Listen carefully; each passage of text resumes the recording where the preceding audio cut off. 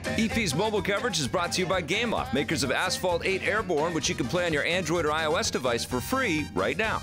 My hometown boys from Noodlecake have got another one for us in the App Store. It is called Mucho Taco. Yes, everybody loves tacos, so I had to dive right into this one. It's another freemium title. So with freemium comes that freemium money-grabbing game. There's not a lot of that here. I didn't feel the pull. What we're doing here, though, is jumping in, and you see a giant sun, but turns out it's not a sun.